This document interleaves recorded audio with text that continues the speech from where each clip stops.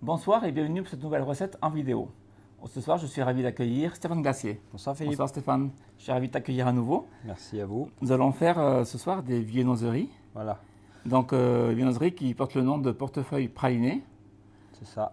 Donc, on va commencer tout de suite par une pâte à croissant. Voilà, donc euh, la recette est issue d'un livre qu'on vient de sortir sur la viennoiserie. Et l'idée c'était de mettre en avant des, viennoiseries simples, de la vraie viennoiserie, pas de la viennoiserie trop éla- élaborée pardon, qui irait euh, plus vers des petits gâteaux, mais vraiment des pièces de viennoiserie petit déjeuner. Quoi. Donc là on a quand même choisi euh, l'une des plus sophistiquées du livre. C'est une viennoiserie en pâte à croissant qui est fourrée d'une crème pâtissière et d'un praliné, hein, et qui a la forme d'un portefeuille, donc on l'a appelé portefeuille. Vous verrez les feuilles de croissant, le feuilletage est très lisible en fait. D'accord. Donc on va faire la pâte à croissant, ce qu'on appelle la détrempe. Donc ici on a la farine, Farine de type 45. voilà, donc farine de force, euh, forte en gluten, de façon à avoir un beau développement.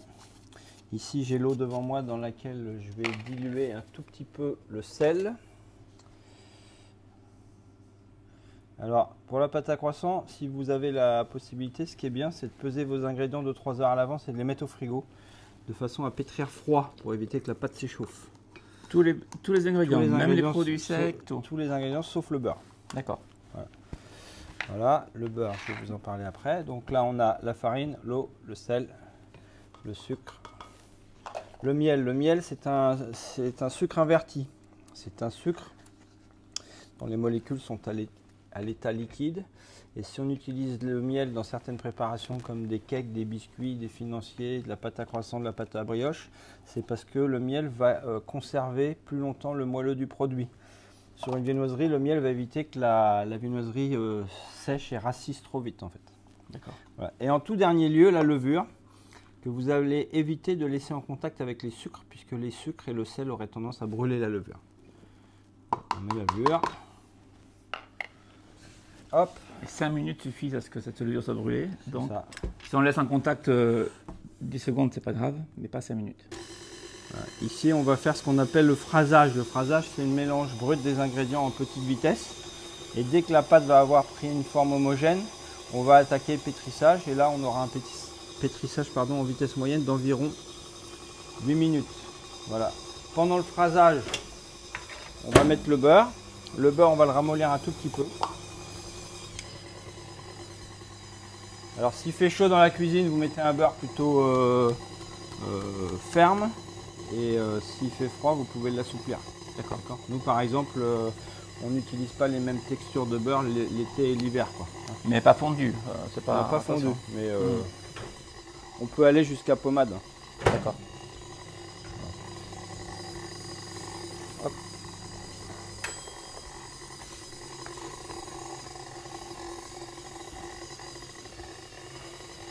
Pensez bien à mettre le beurre au départ, à laissez pas trop pétrir sans le beurre. Parce que la recette est équilibrée euh, pour être pétrie avec le beurre, sinon ça manquerait d'humidité. D'accord. Donc là, vous voyez, je vous parlais de phrasage, on y est presque. Là, ça va à peu près. Si parfois vous arrivez à pas trop bien mélanger comme vous voulez et que vous sentez qu'il reste un peu de farine ou un peu de texture sableuse au fond, arrêtez. Voilà. Vous cornez bien. Quand je parle de texture sableuse, on la voit ici. Je sais pas si ça se voit bien la caméra. La farine qui est mal mélangée là. Ça, faut pas laisser ça traîner trop longtemps dans la cuve. Sinon, après, vous n'arriverez plus à le mélanger et ça fera une pâte euh, moins lisse. Donc là, on est sur une base de 450 grammes de farine à peu près. Ça, ouais. Donc c'est une quantité tout à fait raisonnable pour le refaire à la maison. Voilà. Donc, on aura euh, 450 de farine environ en base pour la pâte, ce qui nous fera utiliser un petit carré de 250 grammes de beurre à la fin. Donc, on sera sur un gros kilo de masse, mais euh, à travailler et à étaler, ça se fait bien en rouleau, quoi. Il faut faire attention, si vous multipliez la recette par deux, ça, devra ça deviendra déjà un peu plus euh, costaud étaler. là, on peut faire deux pâtons éventuellement. Oui, bien sûr. Voilà. Et combien de euh, portefeuilles on va tirer à peu près avec cette quantité-là? Euh, une vingtaine. Une vingtaine? D'accord.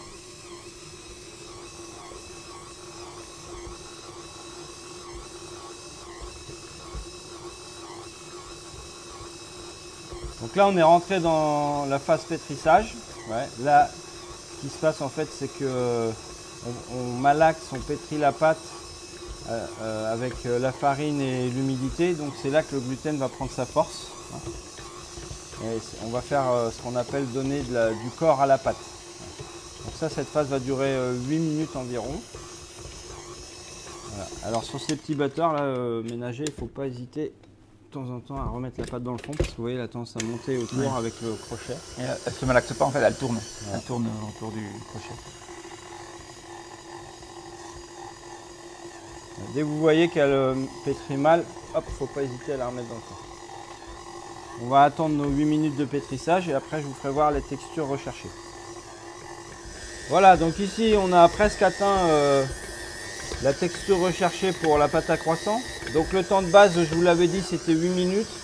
On a ajouté 4 minutes. On est dans des petits batteurs ménagers où euh, ça pétrit pas exactement pareil que ce que j'ai plus l'habitude moi dans des plus grosses quantités. Donc je vais vous montrer ce qu'on recherche. On, éteint le batteur. On relève la pâte comme ça. Impératif, il faut que la pâte soit encore froide en fin de pétrissage. Si la pâte est chaude, vous aurez un problème où on dit que les croissants pissent le beurre en fait, qui ne garde pas la matière grasse. Hop, on prend un petit bout de pâte, on le remet en boule. Hop, et là, on l'étire Et on voit par transparence à travers la pâte. Alors, petit rectificatif, tout à l'heure, on, parlait de quantité de pâte pour tant de portefeuilles. Oui, on ne s'est pas bien compris dans les quantités. Non, on ne s'est pas bien compris. Là, on a une quantité de pâte pour faire 10 portefeuilles. Voilà.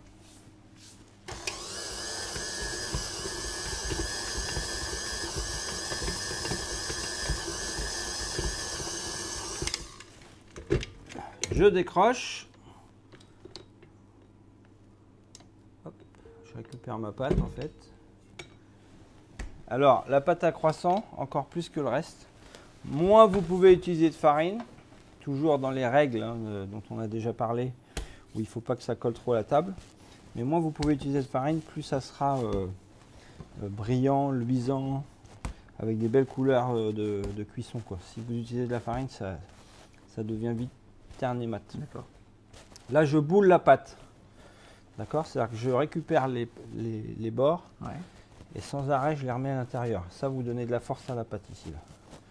Ok? Une fois que vous avez fait ça, vous mettez toutes les soudures ici en dessous et vous boulez. Vous filmez ça, vous le mettez deux heures au congélateur. Dans deux heures, la pâte sera ferme et froide et on pourra lui incorporer le beurre de tourage. Pas trop. vous filmez mais sans serrer pour que la pâte ait de la place un peu. Qu'elle puisse se développer un petit peu. Magnifique. Et, donc, à l'intérieur de cette détrempe, on viendra placer un petit carré de beurre de 250 grammes, où là on utilisera du beurre de tourage à 84% de matière grasse. Bien, notre pâte à croissant, donc euh, Stéphane. Voilà, donc vous vous rappelez, on l'a boulé, on l'a mise en film, on l'a passé une heure et demie alors, je vais vous dire entre 1 heure et 2 heures au congélateur. ce qu'il faut, c'est qu'elle soit comme ça, froide, bien ferme. Froide et ferme. Voilà. Donc là, on l'aplatit déjà avec la paume de la main. Ça, c'est des efforts que, que, vous aurez en moins à faire au rouleau. Toujours notre histoire de fleuret là. Ouais, attaquez pas une boule au rouleau. Hein. Des fois, j'en vois la boule de pâte au rouleau, c'est un peu galère. Là, vous vous amorcez déjà à la paume de la main. Hop, ensuite le rouleau. Et comme j'ai expliqué déjà précédemment dans d'autres recettes, quand on tourne du, quand on beurre, quand on veut enchasser le beurre dans du croissant, dans de la brioche feuilletée ou dans du feuilletage, on allonge le pâton trois fois plus long que large. Ça ne doit jamais coller ni aux mains, ni au plan de travail, ni au rouleau.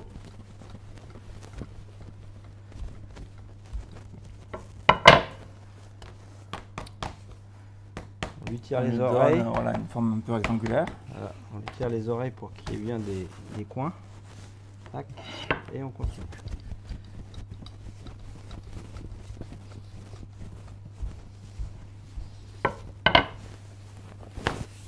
Donc on vous le rappelle, on est parti sur une base de environ 450 g de farine, ce qui nous fera ajouter dedans 250 g de beurre. Et ça correspondra à la fabrication de 10 portefeuilles. C'est ça.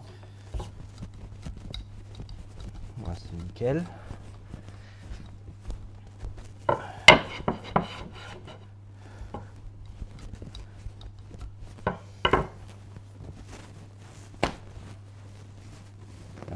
On ça de côté.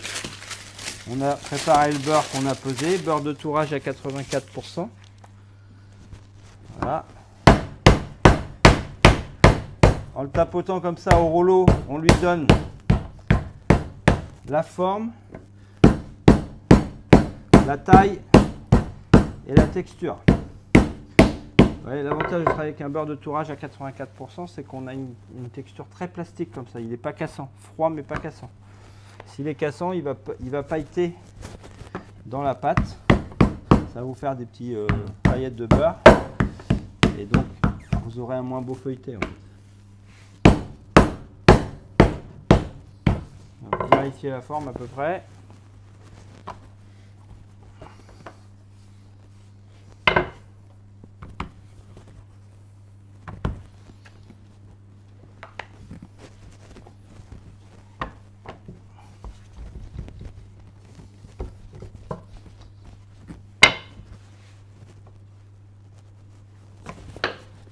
Vous pouvez avoir de la farine pour travailler.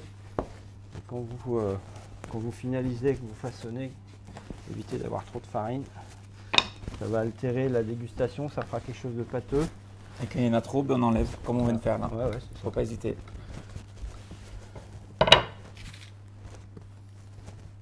Hop, on enchasse le beurre.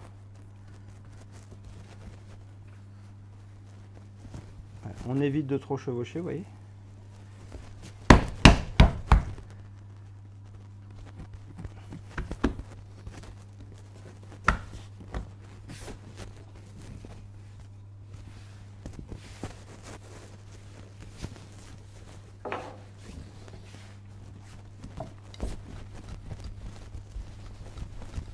On allonge trois fois plus long que large et on va donner ce qu'on appelle un tour double ou un tour portefeuille qui correspond à un tour et demi. Pour la pâte à croissance, c'est la règle en général. On donne un double et un simple. Non, la jointure là est devant vous à la verticale. Voilà. Ça c'est le repère. Vous devez toujours avoir le pli en face de vous et jamais parallèle à vous.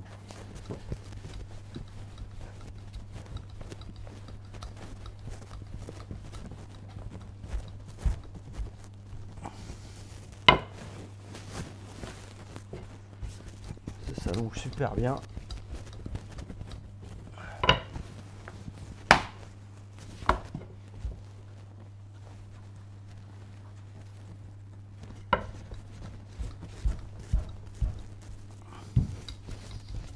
Le secret pour avoir des belles pâtes feuilletées ou des belles pâtes à croissant levées feuilletées, c'est que le beurre et la pâte soient exactement la même texture en fait.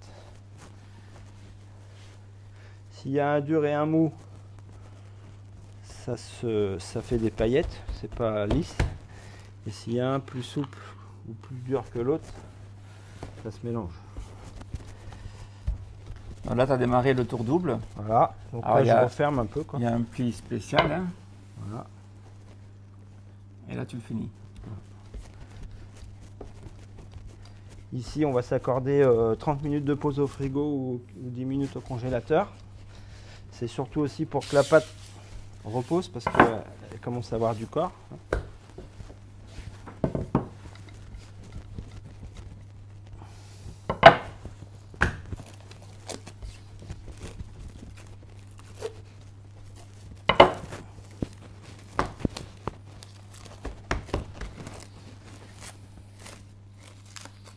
Ensuite, on donnera un tour simple.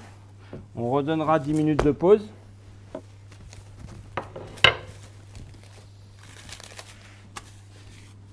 Ensuite, on abaissera à l'épaisseur souhaitée pour faire les portefeuilles. Voilà, donc notre pâte à croissant qui a eu déjà un tour double a passé euh, soit 15 minutes au congélateur, soit 30 minutes au frigo. Voilà, Donc là, on va sur un tour simple. on a eu un tour double, un tour portefeuille qui correspond à un tour et demi. Et là, on s'en va pour faire un tour simple. Ah, Le temps de repos entre les deux tours est indispensable, sinon vous ne pourriez pas l'étaler la pâte. hein. Elle prend trop de corps, trop d'élasticité. On sent, vous voyez, qu'elle répond là quand on, voyez, quand on donne un coup de rouleau. Elle s'étale et elle reste étalée, elle se rétracte pas. ouais. C'est ça? Un petit peu quand même. Oui.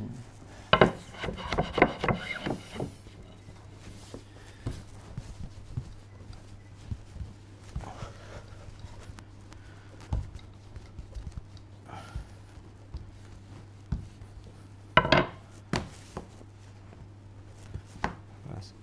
Où on est sûr qu'une pâte à croissant va être belle, voyez, c'est les petites bulles qu'il y a partout. D'accord.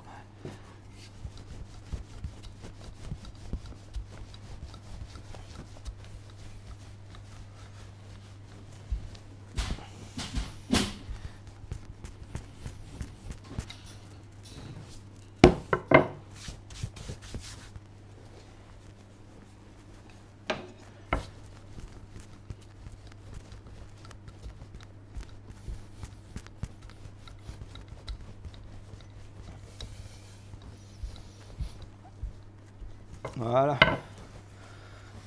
On rééquilibre la largeur, on lui tire un peu les oreilles.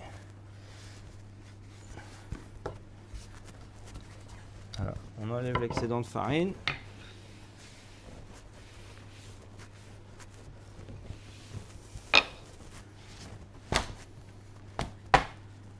Et on donne le tour simple.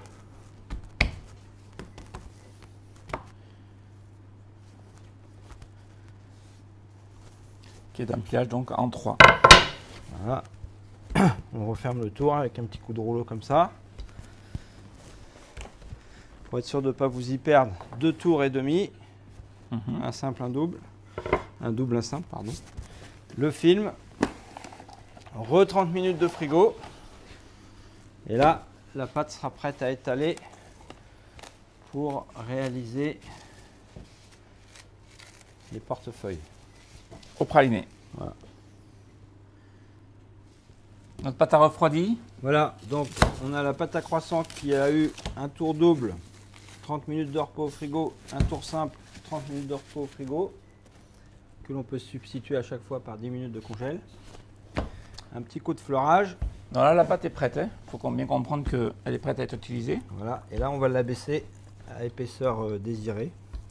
Qu'on est sur une pâte à croissant euh, classique, pâte à pain au chocolat. C'est euh, ça, pain raisin.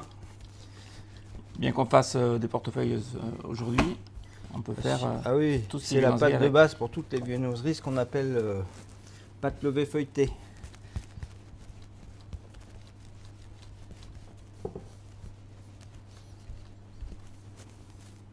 Voilà, vous y allez gentiment. Vous la retournez.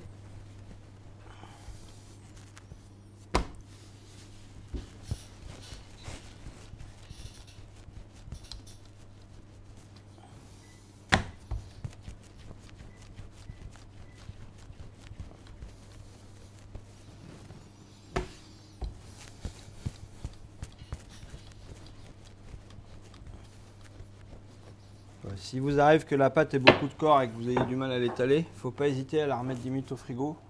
Elle sort temps et elle est plus facile à étaler après. Là, elle est bien bien froide.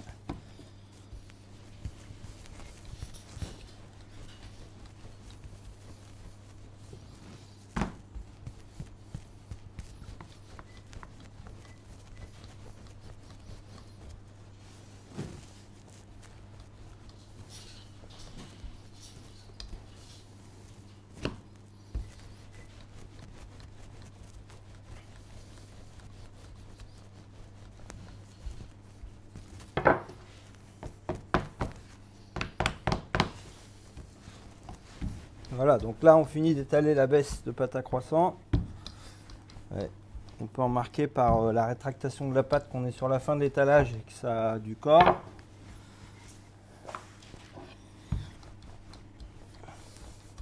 Voilà. Une fois que vous avez fait ça, vous allez la repasser au froid 10 minutes, qu'elle se détende. On a préparé une plaque avec une feuille.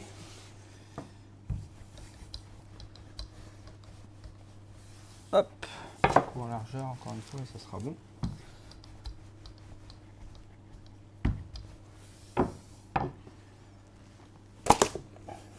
Où on va poser une feuille de papier ou un Ouais. film dessus. On va la mettre à reposer 10 minutes, un quart d'heure et on pourra détailler nos portefeuilles. Alors ces temps de repos là dont on parle, 10 minutes ceci, 10 minutes cela, Toujours des minimums. important, hein. Ouais, puis c'est des minimums. Si vous avez 20 minutes, c'est mieux que 10. faut surtout pas les négliger, sinon il y aura des problèmes. On voit là qu'on est sur des temps de repos minimum et que la pâte a beaucoup de force. Allez, on continue avec la crème pâtissière. Donc crème Voilà. pâtissière qui rend dans la composition toujours des portefeuilles. Voilà, donc dans la crème pâtissière, là on est sur une crème pâtissière assez basique, classique, aux œufs entiers, avec pas mal de poudre à crème dedans. C'est une crème pâtissière qui doit supporter la recuisson au four dans la viennoiserie. D'accord. Donc c'est une crème pâtissière différente de la crème pâtissière qu'on utilise pour garnir la pâte à choux, où là on va utiliser que des jaunes, une crème plus délicate. Ça c'est une crème pâtissière un peu plus costaud. Quoi. Donc ici on a le lait, on va y ajouter la moitié du sucre. Alors après dans la viennoiserie, vanille, pas vanille, c'est à vous de décider. Pour moi c'est pas forcément nécessaire. Voilà, surtout que là on va être sur un portefeuille praliné. Si vous mettez de la vanille dans la crème, euh, il n'est pas garanti qu'on sente le goût vanille. On risque de la perdre, oui. Prix qu'elle coûte. Voilà, je n'osais pas le dire. C'est pas... Bah si, mais c'est une vérité. dans les œufs entiers, les œufs entiers, l'autre partie du sucre. On va blanchir. Le repère pour savoir si c'est blanchi assez suffisamment, c'est de plus entendre les cristaux de sucre que vous entendez là. Ensuite, on va mettre la poudre à crème. Donc, poudre à crème, amidon, maïzena, farine de riz. en, en poids identique, Ouais, quel pour- que soit le choix? Oui, oui. Après, euh, surtout que là, on est sur une crème pâtissière aux œufs entiers, donc euh, le fait de changer d'amidon ne changera pas forcément la texture de la crème. Après, sur une crème comme ça, euh, viennoiserie que vous aromatisez pas, c'est bien de prendre la poudre à crème parce qu'il y a quand même un fond vanillé dans la poudre à crème qui donne un peu d'arôme. D'accord.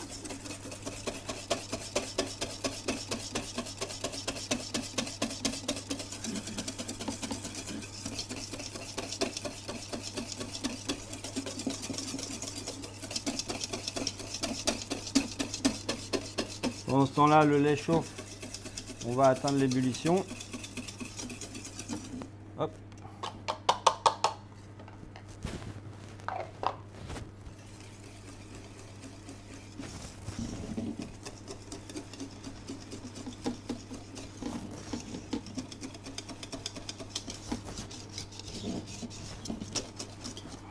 On accélère un peu pour avoir l'ébullition.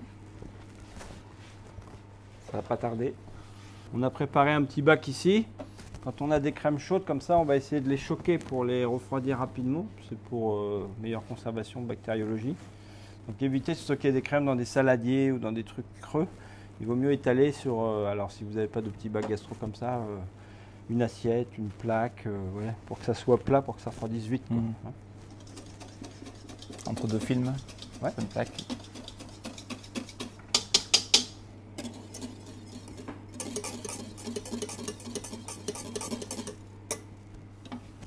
Allez, ça bout. On atteint l'ébullition. Alors, chose importante que je répète euh, à chaque fois que je fais des crèmes pâtissières ou des flancs. Voilà. On met un quart du lait là-dedans. Il faut impérativement que cette partie du lait garde l'ébullition au moment où vous allez reverser ça dedans pour que la coagulation soit instantanée et homogène. Il ne faut pas que la crème coagule par euh, step, par euh, couche, sinon vous allez faire une crème pâtissière pleine de grains. Vous voyez, il faut pas tout balancer sauvagement d'un coup. Voilà. Tu vois Philippe comment elle, euh, elle épaissit tout de suite la crème là? Oui. Voilà. Toujours dans le souci qu'elle épaississe partout de la même façon. Dès que j'ai fini de verser, le temps que je corne mon récipient, on sort du feu. Voilà. On redonne un coup de fouet dedans. Impeccable.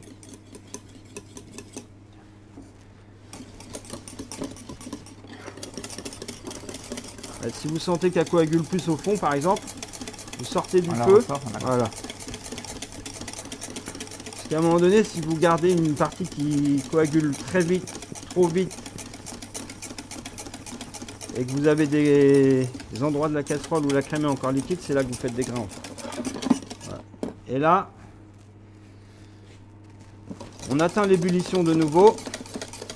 Et on garde l'ébullition pendant 2 à 3 minutes de façon à bien cuire parfaitement les amidons. C'est ce qui va nous donner une crème très lisse en dégustation, très fine, où les amidons seront complètement impalpables. Si vous cuisez pas assez une crème pâtissière ou un flan, quand vous allez le manger, c'est farineux, pâteux, c'est pas lisse sur la langue. C'est pas agréable quoi.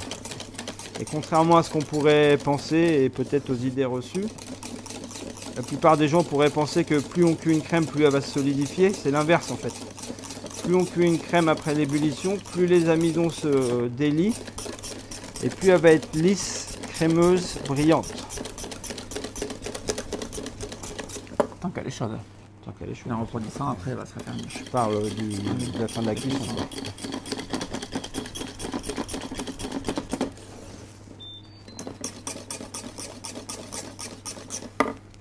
Alors après, nous, dans les crèmes pâtissières euh, qu'on utilise pour les garnissages de choux, de millefeuilles, etc., on met un petit peu de beurre à la fin de la recette. Mhm. Là, comme c'est une crème pâtissière plus basique pour garnir de la viennoiserie, il n'y a pas besoin de mettre de beurre.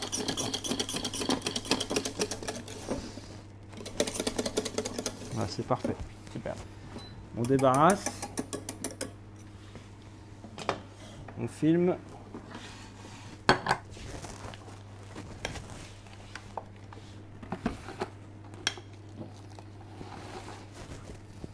Alors ça c'est quelque chose qui peut être un peu fait en avance, même la veille. Hein. Voilà. Nous on va la choquer un petit peu au congélateur, de façon à ce qu'elle refroidisse très vite. Je vais remettre un petit film.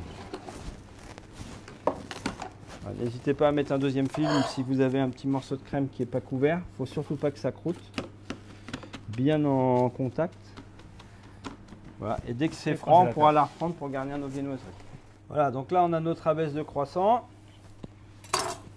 Qui sort bien sûr du frais, on le, le frigo, c'est super important. Si elle est à la bonne épaisseur, c'est parfait. Si vous la trouvez un poil épaisse, c'est qu'elle s'est rétractée. Un petit coup de rouleau comme ça, là il n'y a pas vraiment besoin. Et ensuite vous allez détailler des rectangles de 13.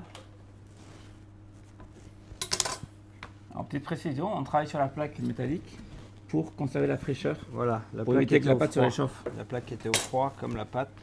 Donc tout étant froid, ça va revenir moins vite en température.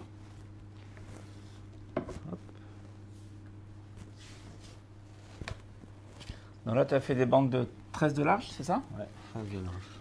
Et maintenant, tu vas faire de 11.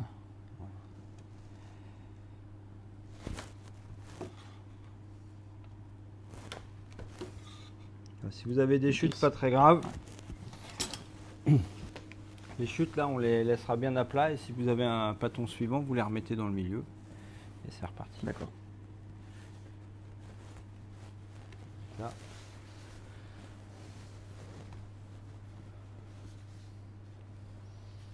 Ce qu'on peut même faire euh, à la maison. Alors il sera peut-être moins un, peu moins joli, mais vous voyez, on peut replier ces chutes là. Tac, tac. on peut replier ces chutes, réétaler et puis avoir le dixième. Quoi. Oui, d'accord. Hein. Hmm. Tac. Alors, on avait préparé l'emporte-pièce. Oui. ce que je vais faire,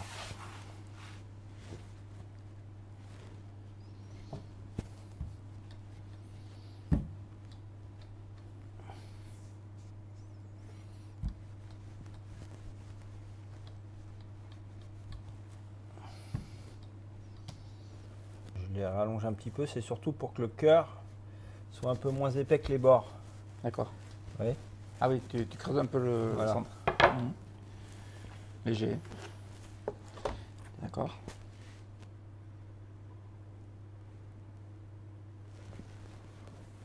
Là, on découpe euh, enfin, un trou à l'emporte-pièce de 5. Voilà, 5, 4, euh, comme vous voulez.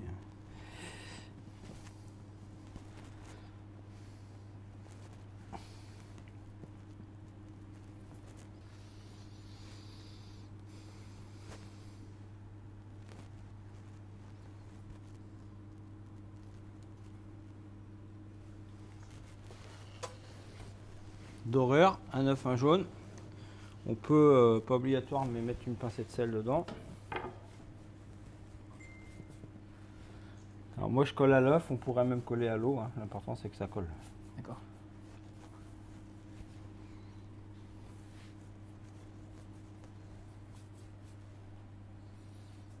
Donc tu mets l'œuf que sur les bords, du côté où c'est plein. C'est ça.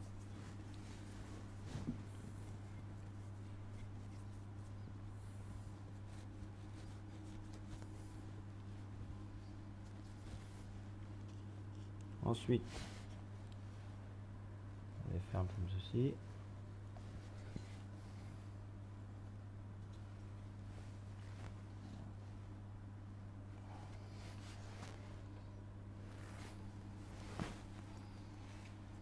Juste fermer. Hop. On prend un petit peu de farine.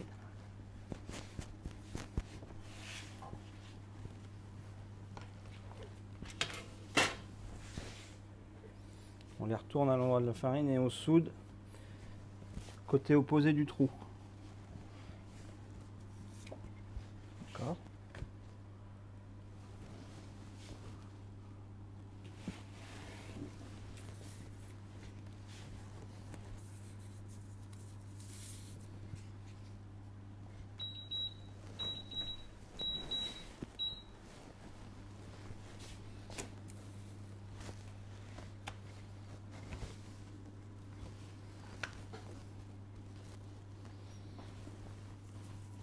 de façon à pas avoir les traces de doigts du côté du, du décor en fait.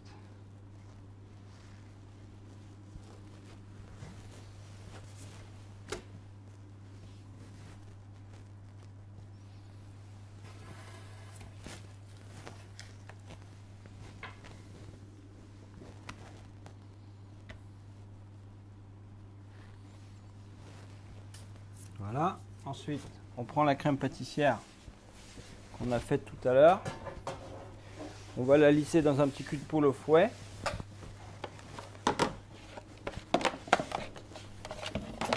Une crème pâtissière euh, comme on fait traditionnellement, hein, on lisse.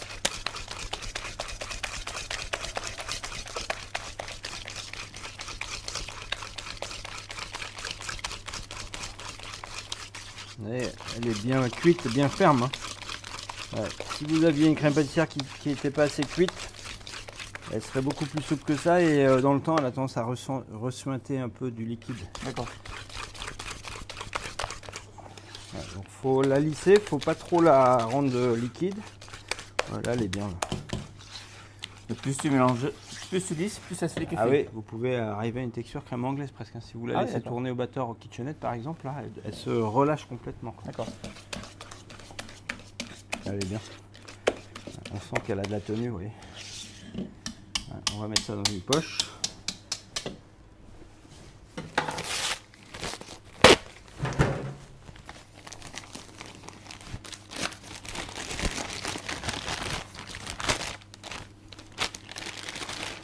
Il n'y a pas besoin de bulle.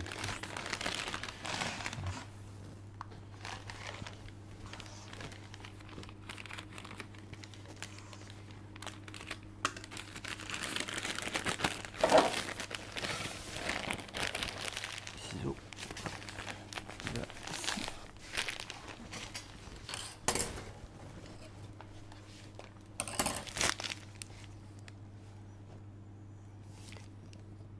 T'as vu, elle a une belle texture, elle se Ouais, ouais. Bien généreux.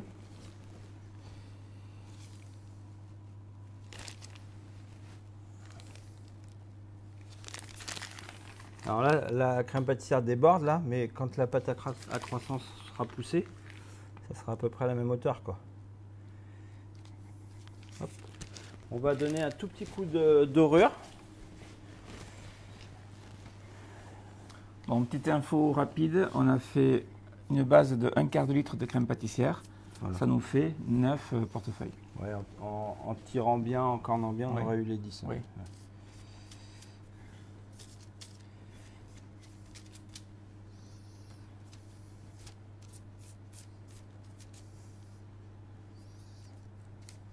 Et ça, c'est pour éviter que ça croûte de trop à la pousse.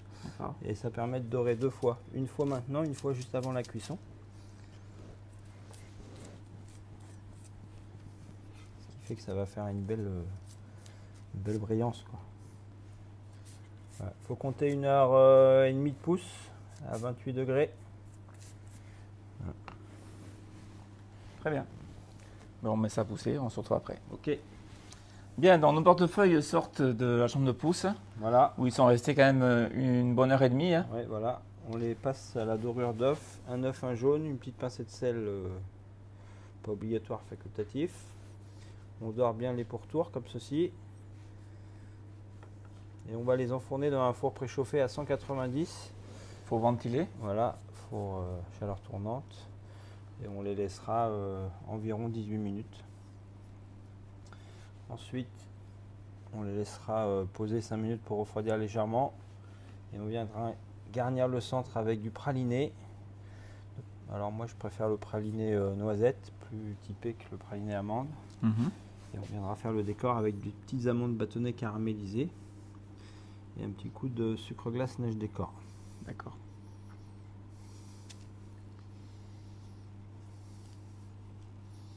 Allez, c'est parti. Allez, un petit focus rapide juste avant d'enfourner. Voilà.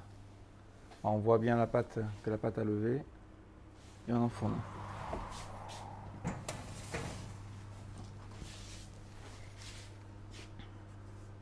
Donc voilà.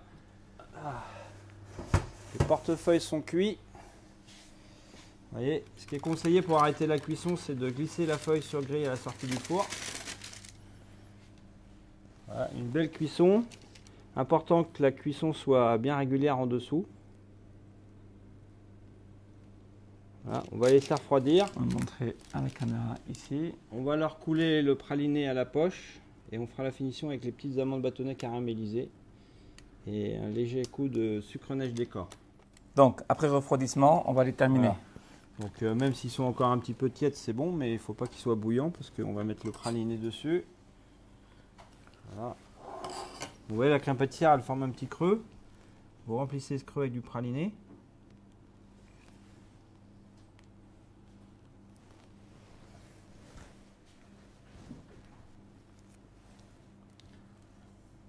En restant légèrement dedans pour pas que ça déborde.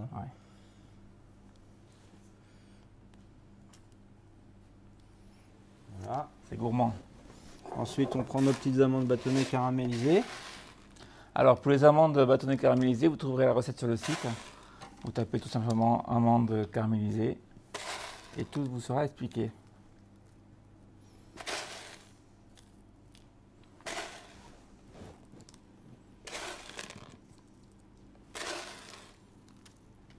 Voilà. Et ensuite, pour la finition,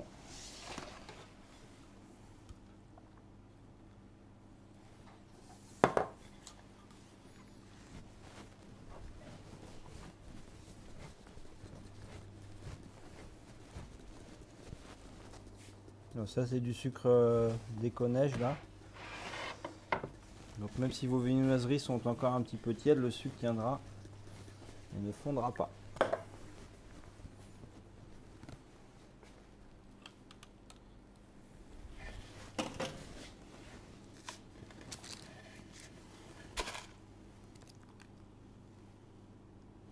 Voilà.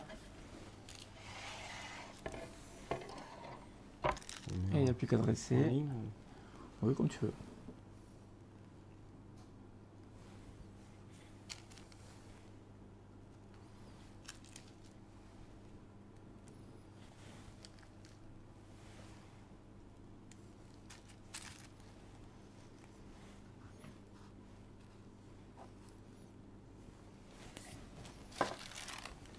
Donc voilà donc la recette des portefeuilles au praliné. Recette que vous pourrez refaire chez vous assez facilement en suivant bien sûr les instructions de Stéphane. Voilà. Merci Stéphane pour cette euh, recette très gourmande. Merci à vous. Donc c'était une spéciale euh, viennoiserie pour ce soir. En attendant, on se retrouve très bientôt. À et bientôt. Puis, euh, bonne soirée et à mercredi prochain pour un prochain live. Au revoir. Merci beaucoup. Au revoir.